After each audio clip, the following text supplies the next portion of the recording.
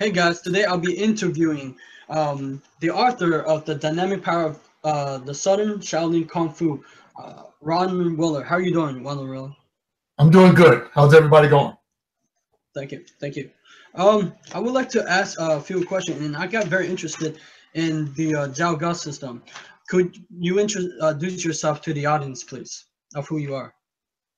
Yeah, my name is uh, Ron Wheeler. Uh, I've been studying martial arts since 1977. I started when I was 12 years old. I started in the Jow Ga system under my late Sifu. He just passed away um, early this year. Under Dean Chin in his school uh, later in 81. And uh, then with the system pretty much ever since. I did, I dabbled in a couple other things. I did some Hung Gar for a little bit, dabbled in the Ching Tong Long seven star praying mantis for a bit uh, under Glenn Tapscott, who came from Chulun up in New York, or late late Sifu Chulun in New York. Um, and, but I've pretty much been doing Jow Ga ever since. I mean, you know, yeah, 37, 37 years doing one thing. uh, thank you so much. Uh, I would like to um, ask you for the audience, what is Jow Ga? Um, uh, what is actually Jow Ga? Like, what's the combination? Because there's so many uh, martial arts. I used to take uh, Hung Fut system. You, you know what is Hung Fut, right? Correct. Right, right. It's a combination of Hung Gar and Fut Gar, but now I'm into uh, Wing Chun. But can you give a little bit like description um, to uh, what is Jow Ga? Sure. Uh, the, the old name is uh, Hong Tao Choi Mei, which stands for, uh, the translation is the head of Hong and tail of Choi. Some people will say uh, a longer name, which was uh, Hong Tao Choi Mei Bak Siu which covers all three styles that make up the Jow Ga. So Jow Ga is a combination of the Hong Ga, which is its base, uh, then the Choi Ga, and then uh, the Northern Shaolin. Uh, Jow Lung, the founder or the main founder, was he and his four other brothers originally did the Hong Ga from their uncle, uh, Jow Hong Hei, who was a student of uh, Wong Kei Ying, the father of Wong Fei Hong. So our Hong Ga comes from Wong Kei Ying, not not uh, not his son Wong Fei Hong. And then he learned the Choi Ga uh, from did uh, the Northern Shaolin in the Si uh, Temple in Kuala Lumpur, Malaysia, and then combined all that into what you have known to what we now know as Jow Ga. It was renamed uh, Jow Ga uh, after he died in uh, 1919. Okay, you know, I noticed um a similarity between uh Hung Fut and Jow Ga. Is there a similarity to that? Yeah, well, we, um, yeah, ahead, yeah, we share a common system with the Hong, the Hong style, you know, with the isotonic movement. So anytime you, you know, have, I think Jow Ga and, and the Hong Fut, um, no, so it would be Jow Ga, Hong Ga, system like uh, Fujiao Pai, anything that has any type of isotonic movement where you're pushing was like you're pushing against the wall, you know, and the arms are, are vibrating. You're doing more Heigong or hard Qigong. Um, at the uh, the punches that we have in, in the Jow Ga as opposed to the Hong Fut, uh, Hong punches are definitely more straighter and more linear based on the Hong Ga system because that's its base. And then you add the Fut Ga or the Buddha palm to soften things up and smooth it out a little bit. Um, where we come in as as far as the difference so we have the straight and the circular. So the same punches you would see in Choi Fut, like uh, Sao Choi, Pao Choi, Cup Choi, Biu Jong, or Bean Cup. Uh, we share those same punches. We share the same exact punches as Choi Fut and and uh, um, and the Choi Ga. Oh, okay, okay. Um, did I ask you when do you learn Jow Ga and what made you learn Jow Ga? Um, I started doing Jow Ga um, again back in 81. But originally, I wanted to do it earlier. Um, um, detective shows like I Spy and The Avengers and The Saint, they were always doing martial arts. They had movies like, you know, with uh, the late um, uh, Robert Coburn, uh, Man Like Flint, In Like Flint.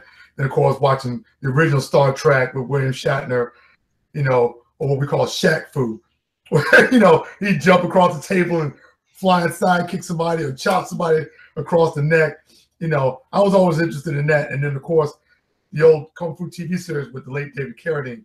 Once I saw that, I wanted to do Kung Fu. But at that time, um, you know, in my elementary all the way through high school, I went to Catholic school all my life. And, you know, my parents were like, you know, I told them, I want to do Kung Fu. I want to do Kung Fu. And they said, okay, let's let's weigh this out. Catholic school, Kung Fu, all, all thoughts of doing Kung Fu. And what happened was Chinatown in DC at that time was really kind of a rough place to to hang out. She wasn't going to let her her teenage, her preteen son go to Chinatown and hang out. So what happened was I was doing, I was learning Taekwondo at the time in my neighborhood in the uh, Adams Morgan section of the city in Washington D.C. And Randy um, had a class in the same building that we were in, but a space above us. So one day after my class, I went up to his class, not knowing what they were teaching. I just heard these sounds, and I looked, and they were teaching Jow Ga. And at that time, uh, you have to remember Jow Ga is the oldest kung fu system in DC, Maryland, Virginia, West Virginia, and I think Delaware and Pennsylvania that taught authentic kung fu. Um, and the school was very popular. So everybody wanted to know people that learned Jow Ga back in 74, 75, 76. They don't practice anymore.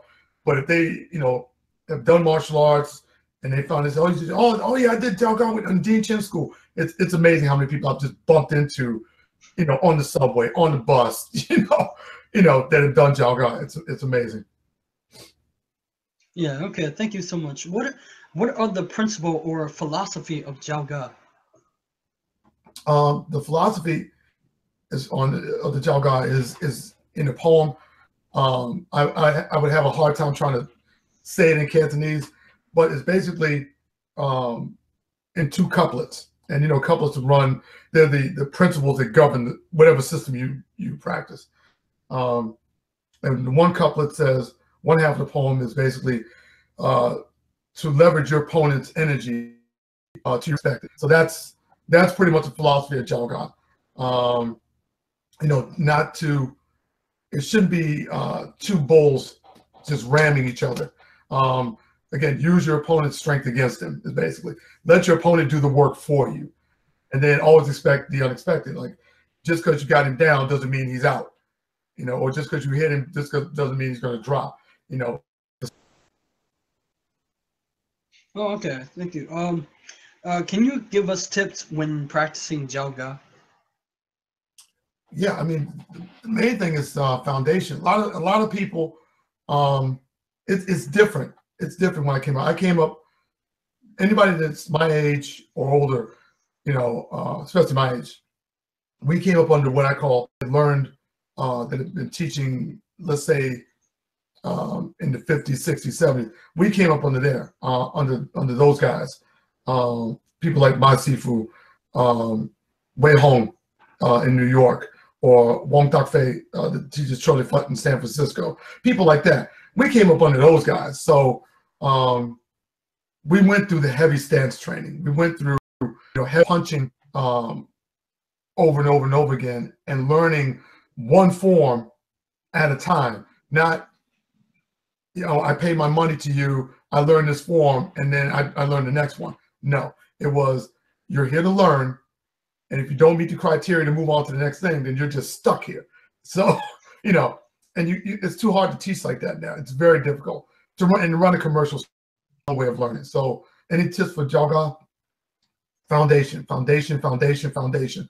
Um, when I was in Hong Kong back in 2009, I met with uh, the then uh, chairman of the Jow Athletic Association.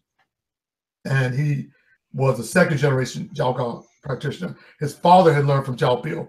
And so he had actually seen Biu as a, as a small child himself during the course of his life. But he said Biu always stress foundation, foundation, foundation. That's that's because that's what's going to benefit you later on down the road. Yeah. Okay. All right. Foundation. So basically, everything that we have to do is uh, start always from the basic, right? Um, but uh, let me see. I'm trying to think of a way. Uh, okay, why did you uh, create um, your book? Well, the first book, uh, what happened was um, I started working the first book, which was The Power of Shaolin Kung Fu. Uh, I started working on that back in 2001. And then I sort of shelved it because I was like, ah, you know, I, don't, I don't know, I don't know. And then what happened was I made the um, the U.S. team in 2004 and went to the first World Traditional Wushu Festival and Championships in Xinzhou, China. My mother had just died um, in March of 20, in March of 2004, and that was the last thing he and I discussed was me trying out for the team because I told her I said, look, I'm 39, I'm not sure, you know, how much, you know, longer my body's gonna be able to do this. I want to try it one more time to go to China, and she thought it was a good idea, and then she passed away, unfortunately. But um, so after she passed, and after I made the team uh, and represent, I was the only Jow person uh, on the team um, and won double gold in both my events.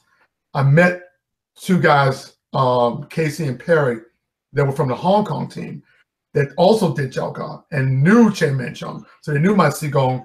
They referred to him as Siba, uh, which is older uncle. And so, unfortunately, they spoke English. So uh, I got lucky there. And so they went back and got back to Hong Kong and told uh, Chan Man Chung all about me, that they had met me, that I had won these divisions and such and such and this, that, the other. And so I decided, you know, I'm going to go ahead and do the book. I'm going to go ahead and do the book. And but I needed to get permission. So I asked um, through my seeing uh, Li Han. I asked him, you know, what do I do? He said, do a letter. I did the letter in English and Chinese. Send it to Chan Man Chung. He contacts Han here in the States. Han calls me on a Sunday morning and tells me uh, that Chan Man Chung has given me permission to do the book based on my performance in China. So I had carte blanche. Uh, the photos um, in the first book that you see, you see a photo of him in the front and then a photo of him, two photos of him when I talk about him in the book. He sent those personally. He shipped, he sent those over here because he wanted those photos in the book. I, I didn't use all of them. I'm actually going to use some in the next, in the third book I'm working on now. But um, oh, you're working on the third book. What's it called? I mean, I was gonna um uh, get the uh, second book, that new book that just came out, right, with the DVD. Right. That no, that's the first book. Oh, that's the first book. That's the okay. first. You have you have the second. Oh, I have the second. Okay, so the third book. Um, what's the the third book called? So the third book we haven't got. I haven't gotten the title, working title yet. But the third book will have four sets. It'll have the uh, double-headed staff or Sun mm -hmm. Uh, it'll have one of our other advanced forms, uh, Pao Ken, a Tiger Cougar. It'll have the uh, double broadsword uh, set, which is, or double sabers, which is the Subji Muay Fa Sundo, and then a set I created or put together for a student of mine um, to improve their footwork called Seal Subji Ken, or, small cross pattern fist. So that that'll have four sets in it. Does Jow Ga have any like drunken boxing form? I'm just curious because I remember uh, back then um, uh, I was learning how fought and they had like just a word on like drunk boxing and also drunken boxing was one of my favorite for uh, you know Jackie Chan. You you, you watched the uh, drunken boxing with Jackie Chan, right? And yes. Yeah. Um, like, y'all got we of the original sets. Uh, there is a drunken. There's one of the branches that teaches a drunken boxing set. Uh, I believe it's a branch out of Singapore. It could be Hong Kong, but originally there was no drunken set in the system. The original, the, the original base of the system, as far as the forms, there was no drunken set. Ah, uh, okay. Um, I I read in your book you like tiger claw or tiger. Why? Like, what what's what's the symbol behind it? Well, yeah, I grew up. I grew up. You know, like I said, I came up in the '80s, so you know, we we were we were at the uh, we had a theater here in DC down in on, in uh, Southwest uh, at L'Enfant Plaza called the American Theater, um, which was one of the theaters owned by Shaw Brothers. So I I watched Shaw Brothers movies left and right back then. I still have a, a massive collection now uh, of DVD, Shaw Brothers DVDs. As a matter of fact, I was just at the uh, Urban Action Showcase yesterday in New York, um, and it was given at the AMC Theater on 42nd Street, and I got a chance to meet uh, Lu Feng, from Five Deadly Venoms. So hmm. that, that was pretty cool. That was pretty cool. He looks and he looks great. He looks great. So to, to your listeners out there, Lu Feng was in movies like uh, Kid with the Golden Arm, Five Deadly. He plays the centipede in Five Deadly Venoms. Um, it's been a long, long time I watched that, but yeah, go ahead. Yeah, um, you know, uh, he plays uh, Cao Chin Chung and uh, two champions of Shaolin. So he's a, he was a classic staple in the Shaw Brothers. He played mostly villain characters. A couple times he played good guys, but mostly villain characters. You know, he's really fun to watch on screen. I got a chance to meet him yesterday. But back to your question, as far as those maneuvers, you know, you have to remember the uh, the late director Lau Kar was a Hung Gar stylist, and so he there was always Hung Gar being demo being displayed on screen. So you got a chance to see, you know, tiger catches the lamb, single tiger exits the cave, tiger pushes the mountain, you know, things like that. Tiger rakes the sand. So you got to see all those techniques all the time. And so because Jow Ga's, you know, most southern long range styles are tiger claw based, like the Hong Fat, Hong Ga, Choy Li Fut, Fat Ga, you know, things like that. Um, it got it showed you how to apply those techniques. And so I got it. So I, I kind of fell in love with tiger claw techniques. I mean, it's still my my you know my favorite technique to apply uh, when I'm free sparring, stuff like that. So, but there's always a time and place to do it. Oh, okay. Um, I, you know, um, the Hung Foot system is very interesting. I'm, I'm not comparing it. It's just that, do you guys have, um, because uh, basically, I believe that every system is really unique. So I'm not biased against anything. Um, I'm more a curious person. That's why I do the interview. But also, I think um, has uh, lots to offer to the world. And also, I would like like, do they have animal system inside? Because uh, the Hung Foot system have the animal like tiger, crane. Because I know that they have uh, the crane in there, right? Yeah. Now the book, the book that you have, which is the second book, um, has the longest form in our system of all the old forms, which is uh, Dai Fok Fu Kim, big subduing tiger fist. So there are not a lot of claws in the form per se, but what it is is, is a representation of a tiger, of the endurance that you need to have. Tigers are, are have great endurance. Um, small tigers, Sil Fok Fu Kim, which is small subduing tiger fist, which is in the first book that has a DVD. Um, that's basically representative of, of a of a young tiger, like a, almost like a cub, full of energy, you know, moving, moving, moving, moving, moving. Um, Big Tiger is, uh, again, it's a, uh, it's about, um, it's basically a two-part form. It's uh, a chi building, she releasing form. So the closest comparison to that would be if you look at the Hongga system and you look at their first form that they, they normally teach, which is the Gunji Fok Fukin. And that form is all this isotonic movement, all this tension. And then you do it on both sides. And then at the end, uh, and then once you finish all the tension, then you release the form and do all these techniques.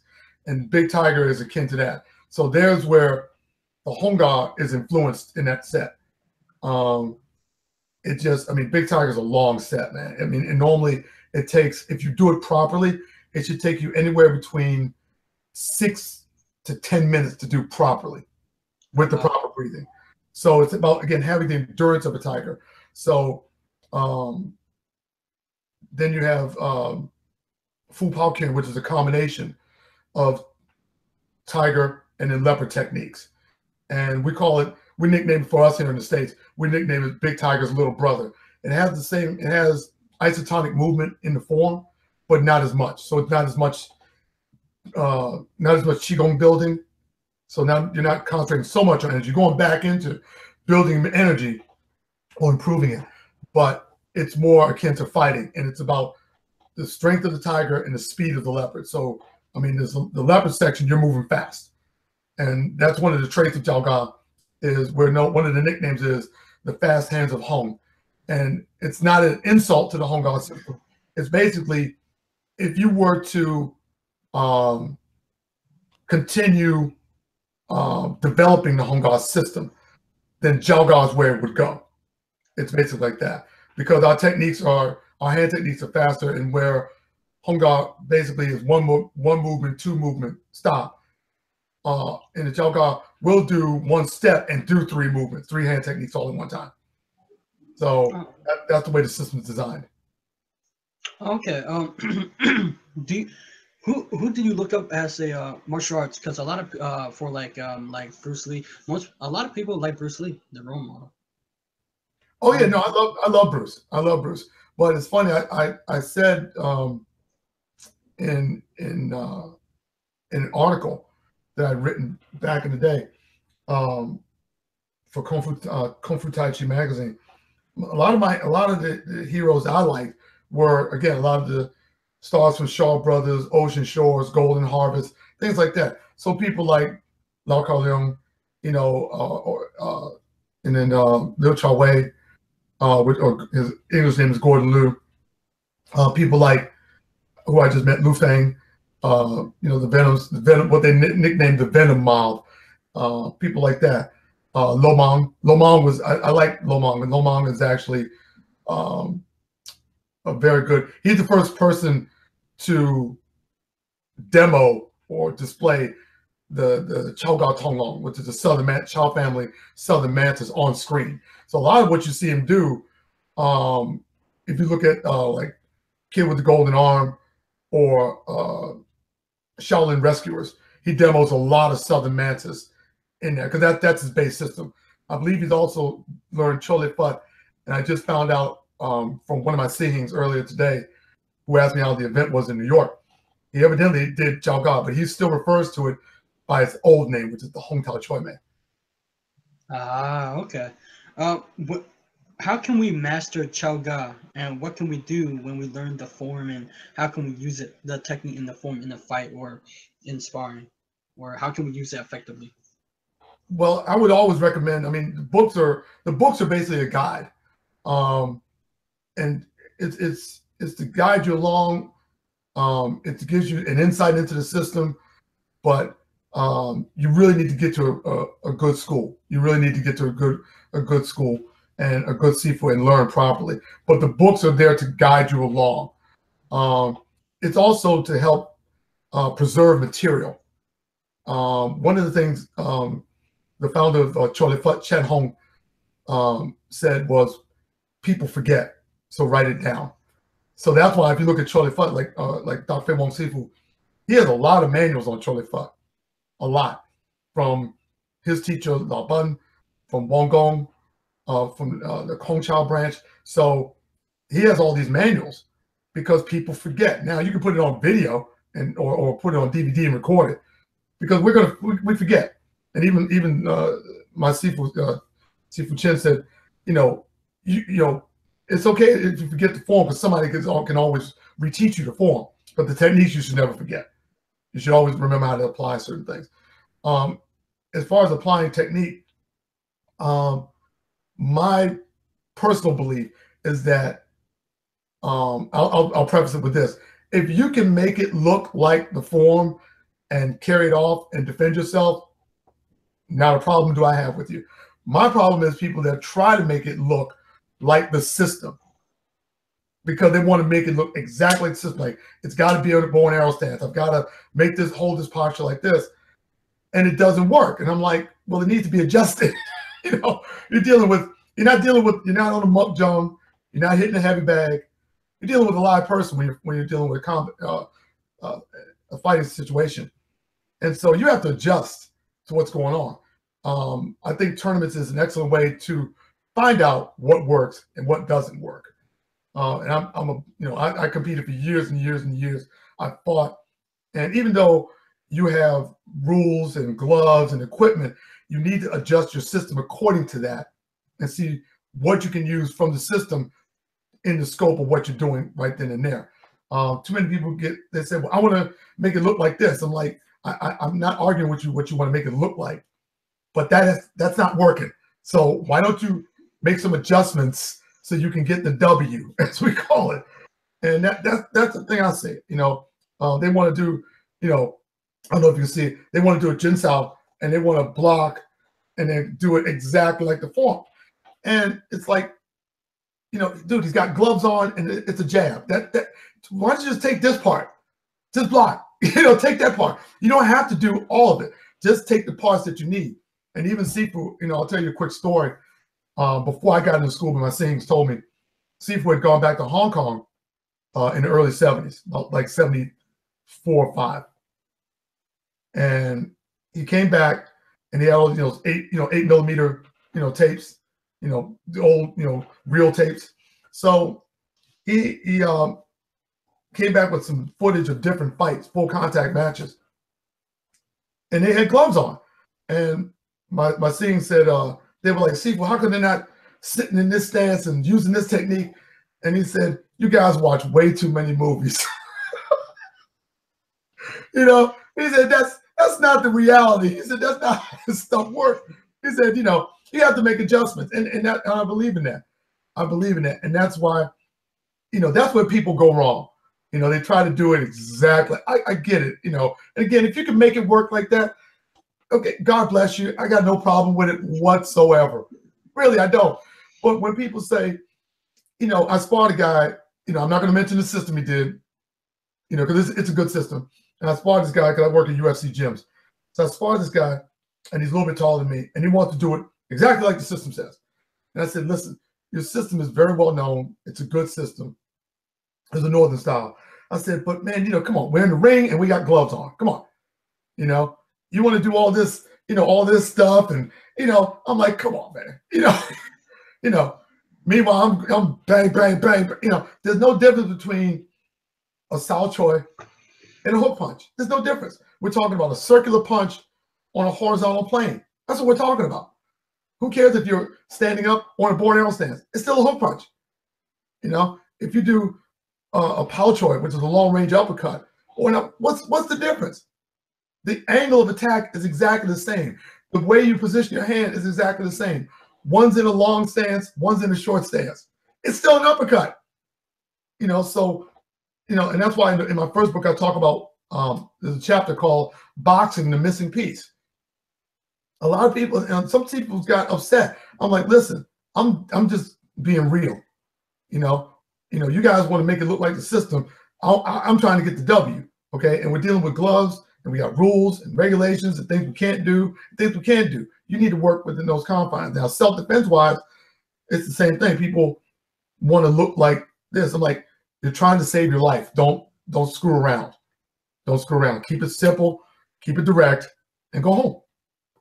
Right. How can like yeah? I, I totally hear what you're saying. Like I, I've seen it too many times. Like when we try to do like fixate on the the whole system. How can we, as a practitioner or as yourself, how can we adjust for like in a sparring or because it's hard sometimes when we um, believe in this system, but we want it to. I guess what I'm trying to say is, um, how can we be flexible without being stubborn? You know, too many people are like you said, like um, like people, uh, the Sifus get angry. So how can we adjust that? Like to fighting. Yeah, Chan Man Chung, when he uh, had three visits to this country, he came in '74 before I got into the school. He came in '88, three years after Sifu had died and he came in 91. Um, and his first, his second time was the first time I met him. And I, I met him three times. I met him in 2009 when I went.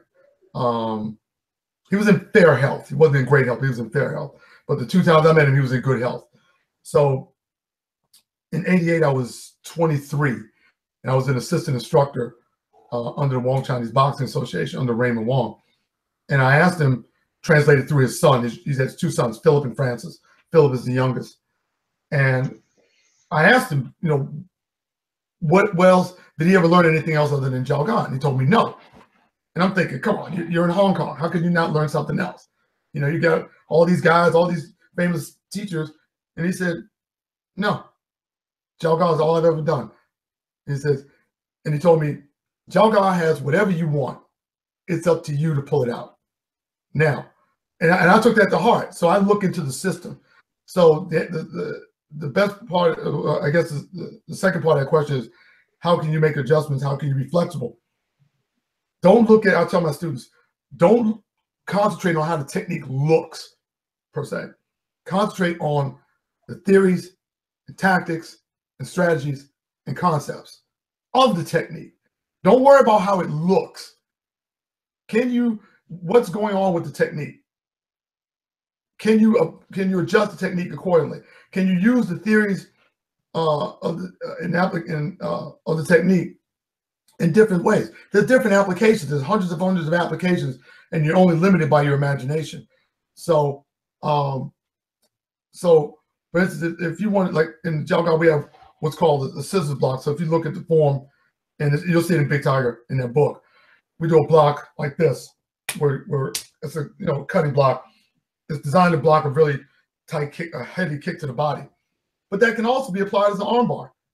If someone grabs you by the wrist, you catch by the wrist and you turn and you you know take them down. You crack the elbow. Uh, see what I mean? The you know the maneuver is the same. I'm applying it on an elbow or joint instead of blocking a kick. You know, you know, I can tell you, for me, in sparring in the ring, I spar quite often um, because I work at UFC gym. So we got guys that box, do MMA. Uh, I just had a uh, sparring session, you know, friendly sparring session with a guy that does savate, which is you know the art of French foot fighting or what they call bout. I mean, that guy was fast, and he he wasn't in great shape, and he totally admits it. But he'd been doing Sanda for 10 years in France and savate for eight years. And the savate made him quicker. And he was all over the place, man. And but having having that experience of being in the ring, I could handle it. You know, but he was really good. It's about, you know, I mean, I would I would hate to see him in, in shape. If he's in shape, he'd kill somebody. you know, so you know, but again, um, you got to be flexible. You know, people say, Well, I want to apply this technique. They say, okay, well, what, what are we doing with the technique? We're blocking and we're attacking the head. Okay. So you got gloves on. Well, you can't claw with gloves. So what do you do? You parry and punch. It's still a strike to the head. See what I mean? So the end result is the same. One's a claw, one's a punch, but they're both attacking the head. You got one with gloves off. This is with gloves on. No different. Oh, okay. What is your own philosophy on kung fu and on life? Um, I'm I'm sort of like you know when when one of the one of the problems I had, I'll answer this way. One of the problems I had sparring with that, sometimes I would start too slow, um, but that was because uh, I wanted you to open up and attack. I'm still defensive oriented when I fight when I spar. I can attack when I want to. I'm, I'm better now at attacking. Like you know, if I have to go after somebody, but normally I'll let you go. I'll let you open up because I know that with your hands up, you know, and, you know, and I know you can just see my hands. So you can't hit me and stay in this position. You can't. Something's got to go left hand, right hand. Something's got to go. And so once you open up, now I got you. So now, if I want to open up, I'll try to lead with something else. I'll use something more of a, as a distraction, you know, or to see what what type of reaction I get out of you. Um, if you just do a quick pair and you don't do anything else, then the next thing I'm throw, I'll throw the same technique, but then I'll throw something else right behind it. It may be a low technique because now I got you focused one way, and then I go another way. Um, so life, life is life is kind of like my philosophy on life. I, I guess would be kind of kind of like that because um, people um, they they you know, people are funny. They they they say they want certain things done, and but they don't want you to do them. And I'm like, okay, well then you do it. Oh, I don't, I don't, I don't want to do it. Okay, you don't want you don't want to do it, but you don't want me to do it. you know, and that was one of the reasons I wrote the book because it had to get done. You know, we've been talking about a book for years and years and years, and no one's ever done it. When I was in Hong Kong in 09, and I met with the sons of uh, Holap Man. Holap Man was uh, Chan Man Chung Sihing in, in the Jow Ga. They both learned under Jow Biu.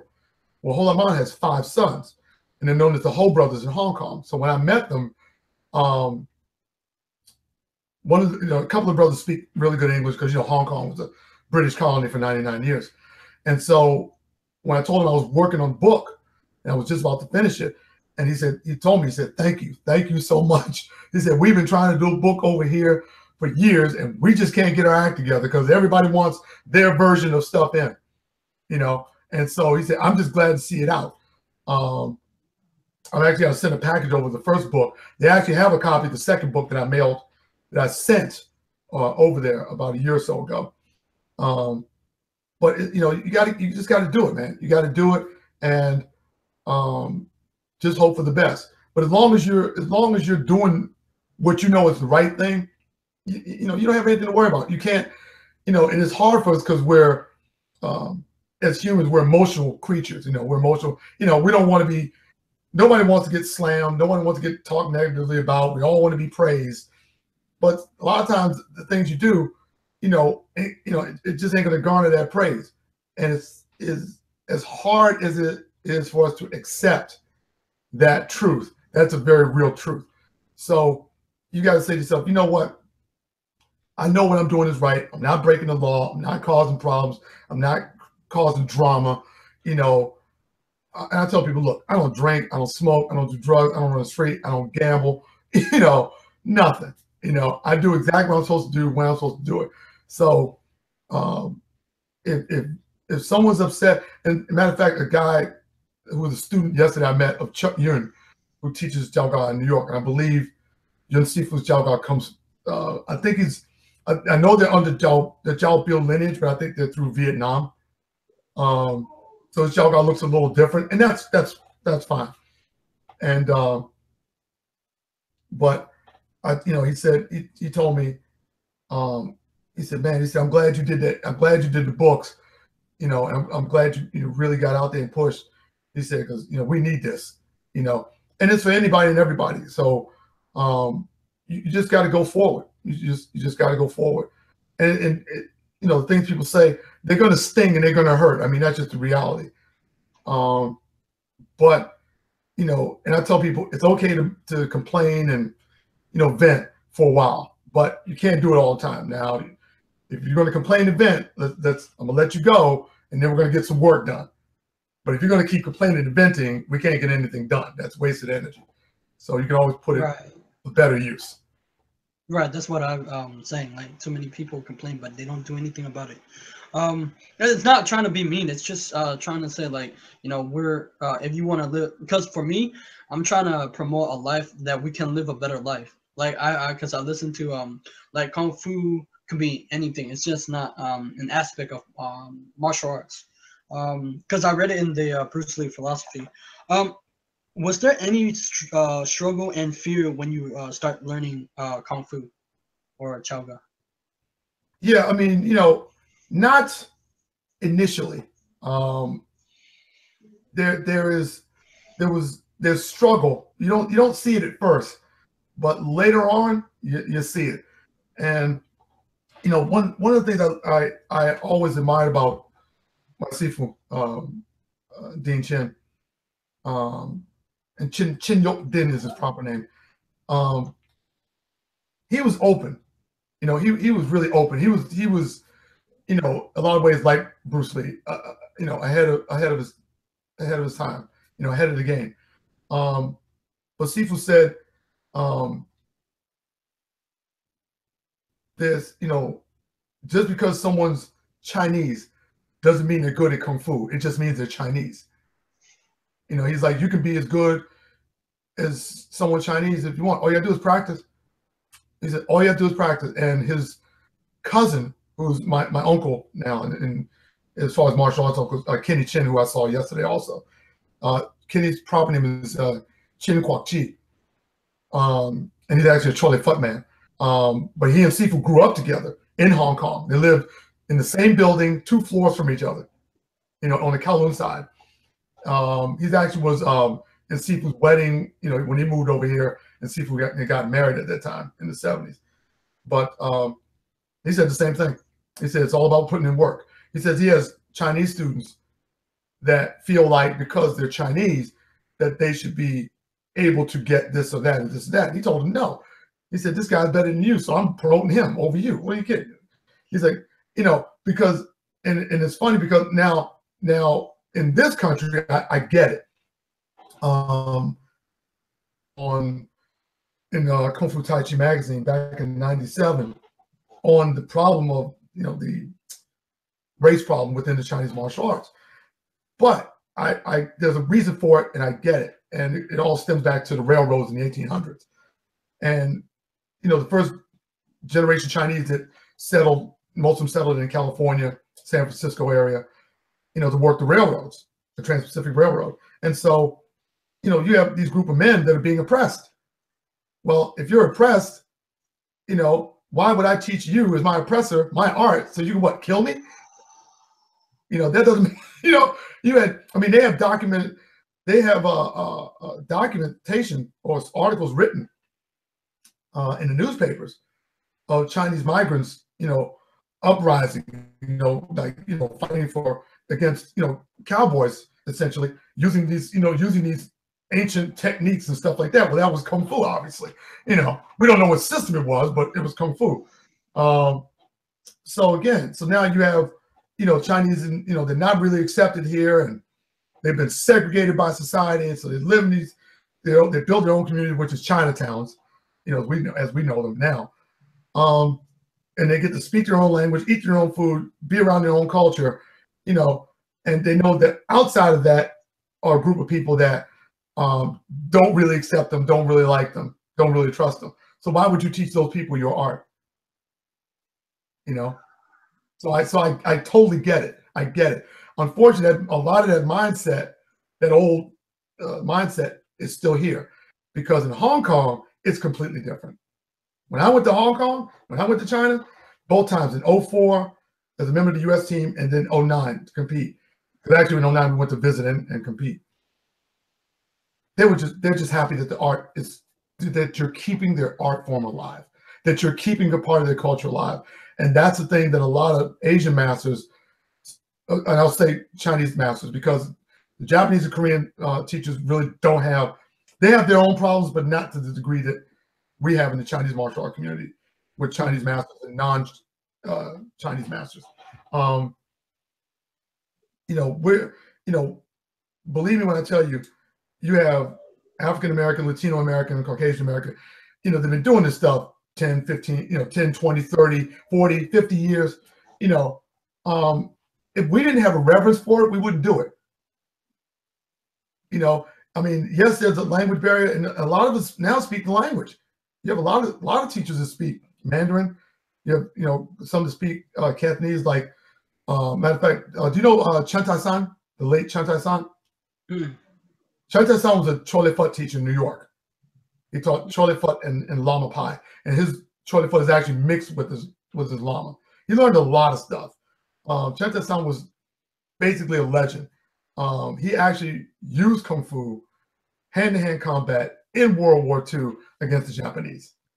Oh wow, really? Yeah, I mean Chen Tai-san was a legend.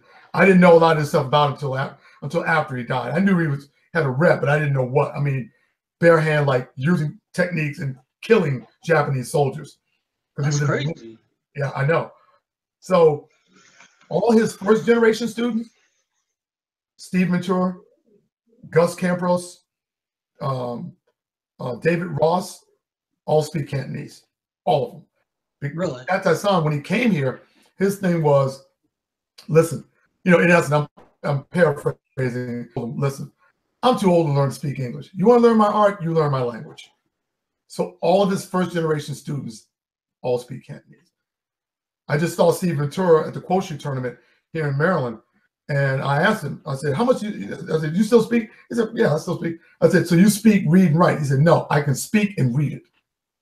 But his training brother, David Ross, can speak, read, and write. Oh, wow. You know, one of my, um, one of my uh, Sihings has a student named uh, Jeff Welsh who moved to Hong Kong to learn Ga. He learned here, moved to Hong Kong, been living there for about 20 years you know, is a Sifu over there now. This is a tall, this is this is a six foot three white boy, skinny, blonde hair. Can now speak, read, and write Chinese. His Cantonese is so good, it's it's it's insane. And I've stood there in 09 when we when we met, because I, you know, and he's from DC. So I stood with Jeff and they would just call him over to translate, and he would go and speak. And I was like, oh my god! If you weren't looking at him, you'd swear he was Chinese. You know. Wait, uh, do you understand uh, what he's saying? Like, do you learn like Mandarin or uh, Cantonese? Most of the Cantonese I learned is, you know, the, the bulk of it is kung fu jargon. you know, I mean, I can I can say hi, I can say goodbye, I can say, you know, you know, uh, hello. I can ask for a doctor. I can say I want to buy something or I don't want to buy something. That's about the extent of it. You know, I can say I'm well, sorry. I can say you're welcome. you know, I can say thank you. You know, you know, no. yes, you know, stuff like that. I, I would like to learn more. I actually was learning uh, from uh, Raymond Raymond Wong's mother uh, for a few for a little bit back in the '80s. So because uh, their family's from uh, Toisan, you know. Ah, and would you say that learning language learning language is harder than uh, learning kung fu, or wh- wh- which is it? yeah, learning learning the language is hard. Now, you know, and it's funny you make that that mention. You know, Tai Chi, you know, uh, Tai Chi Chuan or Tai Kickun is the only system of Chinese martial arts that has retained, you know, for a long time. Now the other systems are sort of catching up. They've retained all of the classical names of their movements, and they've been passed down.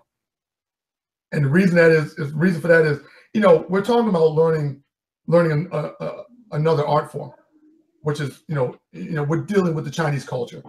So you have this physical element that's already hard enough to get, and then you add a language component. That that that kind of turns a lot of people off. So, you know, they would say, okay, um, like when I was learning, I didn't get all the proper names of the techniques. You know, I got the technique, but I didn't get all the proper names. I mean, I'm just, you know, some stuff I got and some, and, but most of it I didn't. I started getting the proper name of techniques, one through reading various books, like Dr. Uh, Wong Dr. Uh, Wong Sifu's uh, book on Choy Li Fut. You know, we share, like I said, we share the same punches. So I got, okay, well, this is, we do the same punches. So this is Sao Choi, Pao Choi, Cup Choi, Bill Choi. Okay, I got that from Dr. Wong's book. Okay, Ping Choi, reverse, one. I got this from this book. So you start to, you know, pick up a little bit here and a little bit there. Um, and then, you know, you meet people and they tell you, oh, this is this, this is called this. You know, your training brothers get this, they share that with you. Like, oh, okay, now, now I know what this is. You know, we, you know, like, you know, we didn't get this technique as tiger catches a lamb. We got it as tiger claw, you know, or double tiger. Yeah, yeah, yeah. Yeah, yeah, yeah, yeah, yeah. yeah, you know, yeah. We, didn't, uh, we, didn't, yeah, we didn't get, you know, we didn't, we didn't, we didn't get, we didn't get those names. We didn't get, you know, you do a single tiger claw going forward. You, you didn't get, you know, uh, you know, uh, uh, Fu Jiao Jiao you know, single tiger exits the cave. We didn't get that. We got yeah, walk, step forward, tiger cat stance. That's what we got. Yeah, that's true. That's true for uh, um, foot system where they do the uh, tiger claw. We don't. We just say tiger claw. Oh, what is the um yell? Like, why do we uh yell in uh kung fu? That's that's what I want to know. A lot of the southern systems yell um for stimulation of certain organs. So I'll use the Hung Gar system as an example. In the Hung Gar system, a lot of the yells are to stimulate the heart, the lung, the kidney, liver, spleen the major organs of the body, help bring energy to those organs. So when you look at a form like uh, Titsimkin, you know, Hung Gar, their last form, Iron Wire Fist, where it's all dynamic tension, it's all Heigong. Um, and there's certain yells that correspond with certain maneuvers, and those maneuvers, those yells correspond to certain organs. Now with Choy Li Fut, um, a lot of the yells that we that you would hear, which are the same yells we do, you know, hey, wah, dick, sick, yeah. Those yells, according to Choy Li Fut history, were old battlefield cries. Oh. And the, the premise was if you were fighting in a large battle, so let's say, you know, remember during the, during the um, the turn of the last two centuries, from the 19th to the 20th, okay, um, you would have like, you know, the Boxers' Rebellion was probably the the you know the most famous, but let's say before that when you were fighting, you know, during like the burning after the burning of the Shaolin Temple, and you had all these societies. You had like the Heaven and Earth Society, you know, something things like that. And so, but you had affiliate groups of those societies, like smaller societies. Well, if you're in a big fight with a lot of people, you know, if you heard someone like throw a punch and you heard sick, you know, you, that might be someone that you're connected with. So you know there's there's there's a friendly there's there's a there's an ally somewhere in here. So a lot of those were old battlefield cries to just to to let people know I'm with this group or I'm with that group. You know. Oh, okay. Um, I would like to ask. I know this has nothing to do with um, uh, Jow Ga a little bit. What is uh? You, have you watched The Birth of the Dragon? The the, the most most recent film with Philip Ng. Uh, well, I don't know if what's it called, but um, it's with Bruce Lee, the new one. Have you watched it? Yeah, where, where he's supposed to fight Wong Wong Jack Man. Yeah, how did you think about it? Because I just finished watching it. What, what did you think of it? I, I, I will be absolutely honest. Um, I actually sort of met Philip Ng a couple of years ago. Um, here, here in DC, the Smithsonian Institute does a, a Made in Hong Kong Film Festival. So the year, two years after my book came out, my book came out, my first book came out in 2012. So in 2014, I went down to the Smithsonian Film Festival because I heard Phil, you know, Phil Ng was doing, um, they were screening Once Upon a Time in Shanghai. And I don't know, have you seen that film with Phil Ng? It's a really, it's a really, it's more, it's more modern. It's set in like early 1920s, you know, like prior, just prior to World War II. But it's a really good film. Um, and he's he's the main star in that movie. So I went down to see it, but he was supposed to be also doing an interview. And so I said, "Oh, I get a chance to meet Philip Ng. I'll take him a copy of my book and autograph it and give it to him as a, as a gift." And so when they did the interview, they did the interview Skype, and I was like, "Oh my god!" so that because he was in Hong Kong, and so I'm like, "Okay, now what? What do I do?" So, um, long story short, I got I did get him the book, but I really like that movie. Now, um, with Birth of the Dragon, I, I, I just can't I can't do it. And it's no disrespect to Philip Ng. I, I think he's a really good actor. I think it's Charlie and Philip Ng, you know, does Ch- Choy Li Fut and Wing Chun Oh, really? from his father. Oh, Yeah, Philip Ng's from Chicago. Philip Ng from from here in the states in Chicago. Uh, he moved to Hong Kong to do films. The, the Ng family, uh, Choy Li Fut, they've been there for years. So when you look at um, um, Once Upon a Time in Shanghai, he demos brilliantly, goes from Choy Li Fut to Wing Chun. You know, and and, it, and it's believable. It's it's really you know it's practical the way they set it up. It's like okay, I can see that working. Um, but I, I I couldn't bring myself to watch it. And I said it on Facebook. I just couldn't bring myself to watch it because if the story had been more accurate, I would I would have gone. I would have I would have gone to see it. You know, they they took creative license with with with an event that actually happened. And the problem is there are people that are around that remember everything that happened. Even Linda, Bruce's widow, Linda Lee Cadwell, remembers exactly what happened. She said, I was six months pregnant with Brandon. She said, you know, the you know, he came, the, you know, the, the, he came up, they had they had a fight. He and Wong Jack Man fought. He got him on the ground. They fought for about three minutes. He got him on the ground and said, "Do you give up?" And Wong Jack Man said, "I give up," and that was it. He said, "But I was." And Linda was like, "I was right there. You know, I was pregnant with our son. I was standing right there and watched them fight. You know, so to take a story that famous of the most, hands down, the most famous martial artist in the latter half of the 20th century and into the 21st century, because nobody's more famous than Bruce. Nobody. I mean, we've got really good martial artists, but I'm sorry, you know, and and you know, uh, Bruce Lee sets the standard. You know, and, and I agree, you know, and I agree with um, uh, Sifu Carl Albright, uh, who does uh, uh, Seven Star Praying Mantis and Wing Chun, or, or, Hong Kong, excuse me. Um, if I was a Wing Chun practitioner, I would run that, I would ride that Bruce Lee gravy train to the bank. I would. You know, I get it. I'm, I'm not mad at anybody that does Wing Chun that's riding off Bruce. I get it. I totally get it. I would ride off of that, off the Ip Man series. I would do it. You know, I would do it. You know, especially if I'm making, you know, teaching for a living. You know, but I, I just couldn't bring myself to watch that movie as much as I like Philip Ng because the story is not accurate. Even if they they augmented it a little bit, I would say, okay, you know, I I, could, I get it. But one of the things in the movie is, and correct me if I'm wrong because you've seen it. Um, there's a a because even Shannon, even Linda's, even Shannon, Bruce's daughter didn't like it. She hated it. She wouldn't see it because she's like, this is not accurate. You know. Now you got the wife, who's the widow who's still alive, and the daughter that's still alive. They don't like it because both of them know this is not what took place.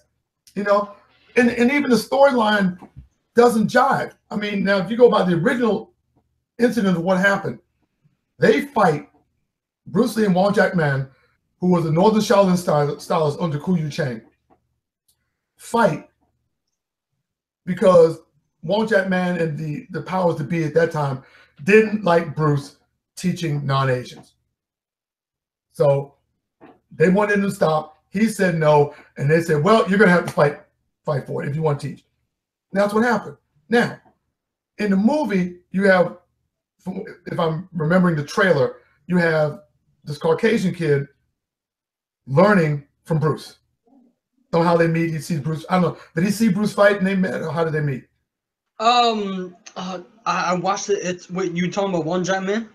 No, the kid, the uh, the, the white kid and Bruce Lee. They they, they met because he was training with Bruce first, correct? Yeah, yeah, yeah. He was training with Bruce. He was a Bruce Lee student. Right. Okay. And so, then after, yeah, go ahead. no, no, go ahead. Well, I was gonna say you were right. There, um, there's some of the stuff that I seen in the um the new one I didn't really vibe with because I you I watched a version of you heard of uh Dragon. Uh, Yeah. it's a yeah, and I like that one more because it was um uh the story because uh Linda, uh Bruce Lee wife provided all the details and it's um more accurate than this one. I I couldn't wrap my hand around with the new one. Yeah. So so now you have this new one where you have this white guy who's learning from Bruce, and Bruce is teaching him, and then all of a sudden, he wants to learn from Wong Jack Man. Right, Now- right, right. Right. Okay. Now, if we go by what was told, what the original crux of the matter with the fight, if Wong Jack Man had a problem with Bruce teaching non-Asian students, why would he take a non-Asian student? Yeah. You see what I mean? So the accuracy is off. It doesn't it doesn't jive. So so yeah, Dragon, and even though Dragon is uh, um, you know, there's you know creative license there also, like with the whole thing about you know how he injured his back, which wasn't in a fight. He pinched the nerve lifting weights. He didn't warm up properly, and he pinched the nerve in his back. And even Linda said, yeah, he pinched the nerve in his back. It wasn't, but I get it. For dramatic effect, you got to do this because having a fight and having a guy kick you in the back is much more dramatic than you lifting weights over your head and you go, "Oh, I hurt my back," you know, you know. But that's what it was. You know, that's actually what how he hurt his back.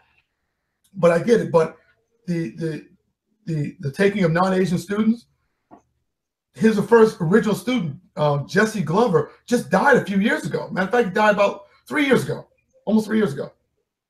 And, but he was Bruce's first student, and he's African American and he and he died uh, uh, almost three years ago. He died in like early early 2015, I believe. You know, and I was working on a project that I wanted to include him in, and just as I was, uh, I have a training brother uh, that teaches Jow Ga in Sacramento, and he was just about to put me in touch with a student of Jesse Glover, and Jesse was about to put me in touch with this guy. Jesse Glover died. I was like, oh my god. I Couldn't believe it. It, it hurt you, didn't it? Oh, that. Oh my god. Uh, You know, uh, but this is. I mean, because he was uh, starting to get out. You know, I. You know, he had been sort of a recluse. He was starting to get out more, and um, and and and and teach what Bruce and originally taught him, stuff like that. He, he never stopped practicing. He never stopped training, from what I understand. And he had students, you know, but not a commercial school. You know, he ran sort of a, you know, come to my house type of thing. You know, I guess out of his garage, or out of his house, or out of his basement. But he was still teaching. He was actively teaching. oh wow. Um, ah, thank you so much for that. What is your passion in life? Is it kung fu, or is there any other passion that you have? In I mean, my kids, um, my fiance, who was a wonderful, you know, who's a godsend. I tell you, she she is a godsend, and and and just the best partner I could have, especially in what I do. When when she and I met, uh, I told her uh, she, we met through the gym and we fell in love and started started dating, fell in love. But I told her I'm broke with talent, and and it's funny because she looked me up and online, you know, and I, like I said, I'm just new to getting online uh, with everybody. And the first date we went on, she says, "You've done a lot of stuff," and I knew people had been written about writing about me online. I, I had no website, no Facebook page, no nothing, so I knew everything that was out there. People were writing about me, um, and I didn't follow because I was like, eh, you know, I, I got other things to do. Um, but she said, You've done a lot of stuff," and I said, "Yeah." I said, "Yeah, I've done. I've done pretty good for myself." And she says, "No, you've done a lot of stuff." Because when she said she saw all of what I had done, she's like, "Oh my God, this guy's the real deal. He he's a serious, serious martial artist." And I just had signed my contract with Tuttle Magazine, Tuttle Publishing, for the first book. I just signed it, and she said, if he could do all this stuff by himself, no computer, no internet. I mean, I literally handwrote my book on a legal pad. Really? Oh wow. Yeah. I literally hand wrote my book. The guy that assisted me in technique, his name is Henry Shum. And Henry Shum is, uh, does uh, Chen style Tai Chi with Stephan Berwick. Stephan Berwick is the senior student of Ren Guangyi. And Ren Guangyi is Chen Xiaowang's number one student. You know, and so Henry gave me a laptop. We were going to start printing it out. And he gave me an old laptop that he was going to donate to the library. And he said, Ron, you're more in need of a laptop than anybody I know.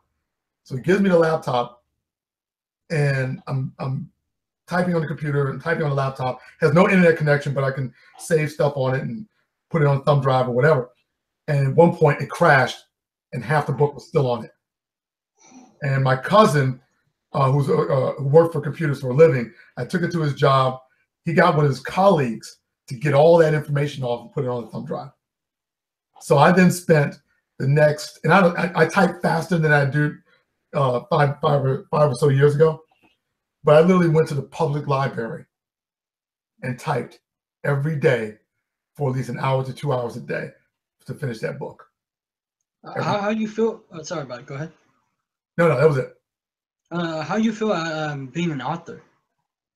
Um, it's it's it's nice. I mean, it's it's you know, um, it's funny. I, I tell my fiance, I, you know, I always wanted to be known for doing martial arts. Now I didn't know how known I wanted to be, but I wanted to like win a few championships, maybe win a title, stuff.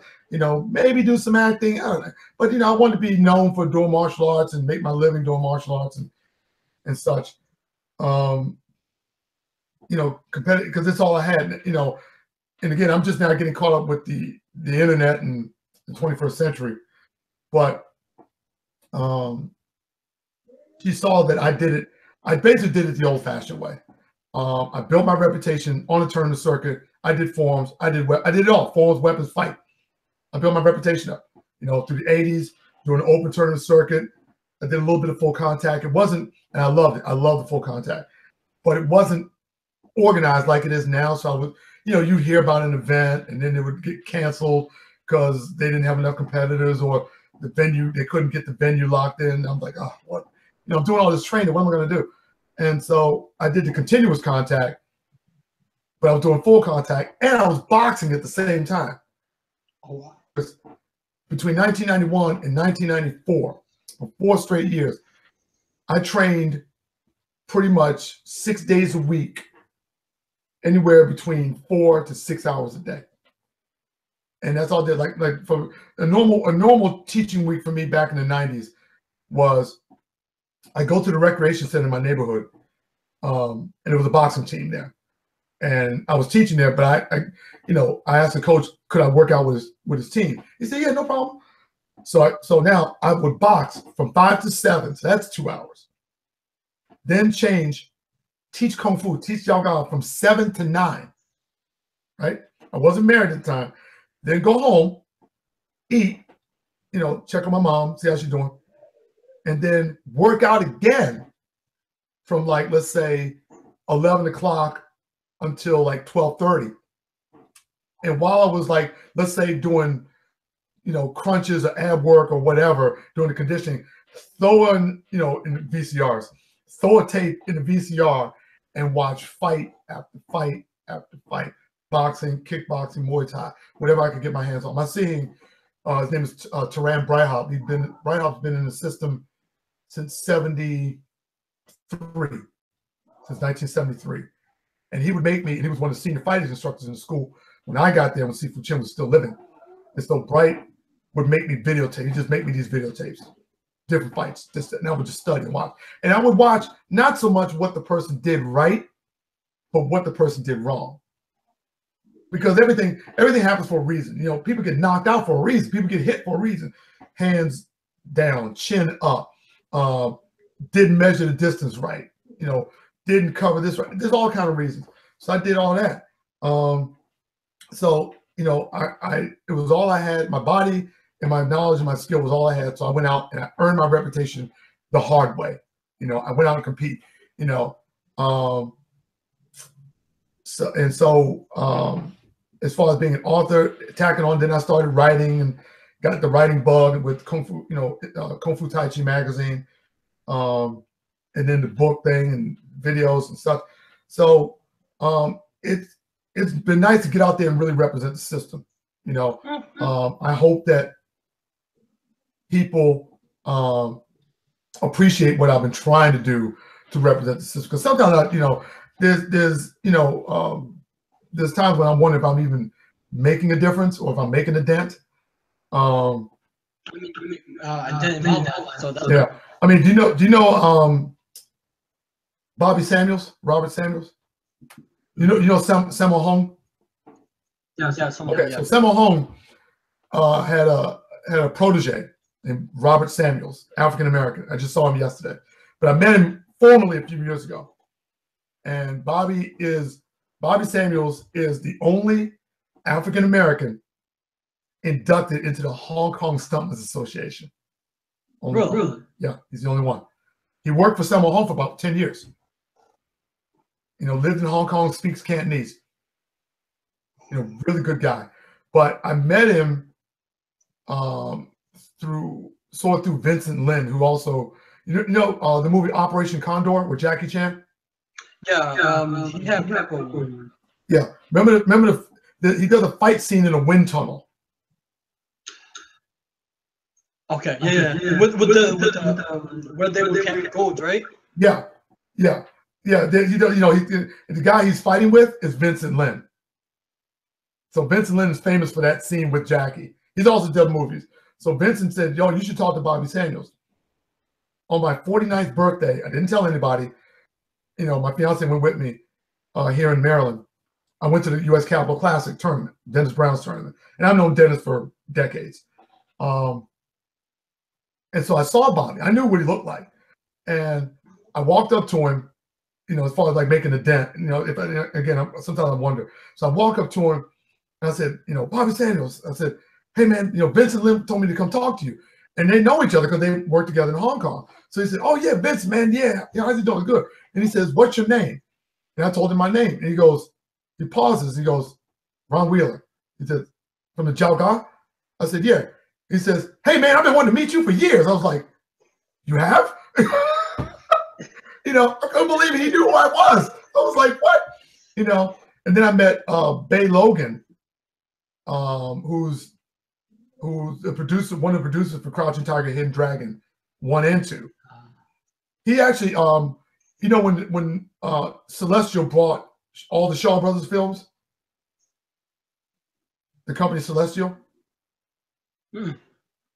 I'm not much on like I stopped like uh, watching all um like up to I'm not up to date as you are for martial arts because I do um uh, personal development. Um, I read uh because my passion is not just uh uh, kung fu, mm. right? And I read other uh, what's it called, like you know, marketing, business, and stuff like that. I mean, okay. because yeah, sorry, um, but yeah, go ahead.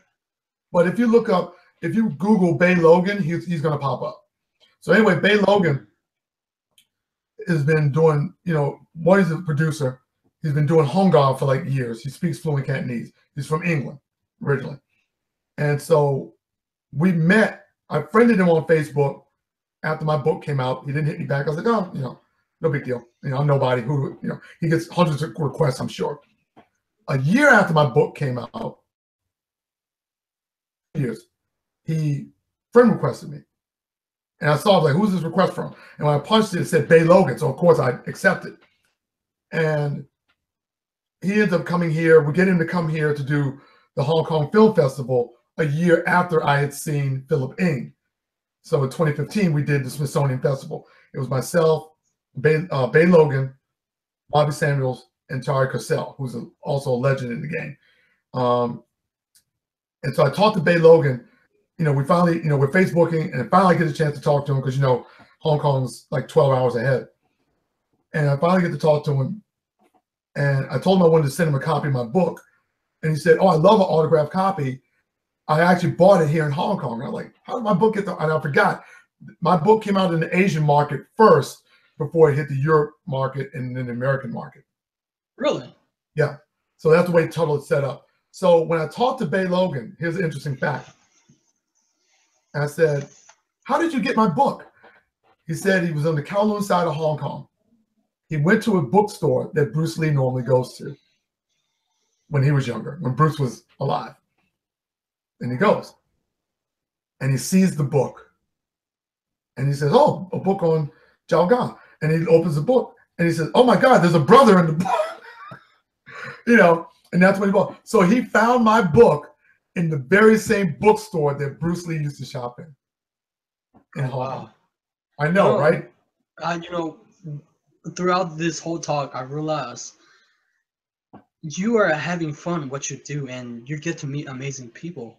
And I was like, you seem so happy and you light up. I was like, wow, you really do light up when you meet um, people that you uh, look up to or you enjoy, you know, like all the connection um, that you have, you know.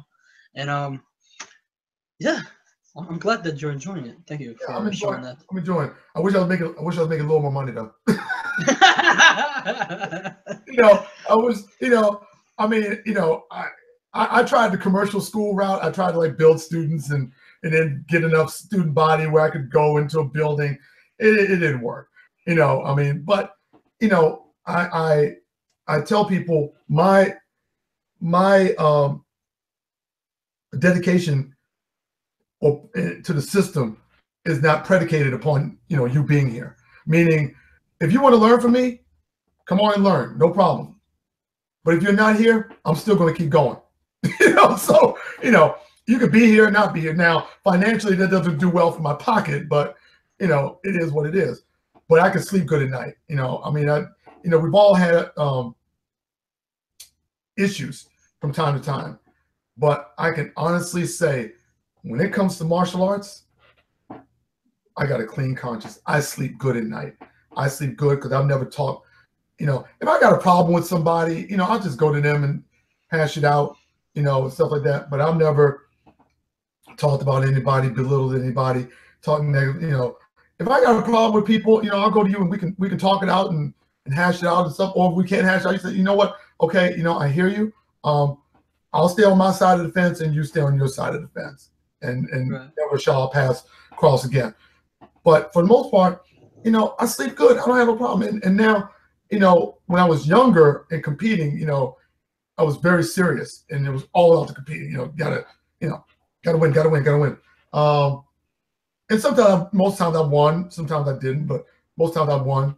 Uh, and then as I got older, by the time I hit my 30s, you know, I, you know, I, I, I guess I was sort of coming into my own at that point as a martial artist or as a person, eh, eh, you know, and I was much more comfortable. So when I had a team, I had a small team, and we went out from 97 until 2003, and we would go to tournaments.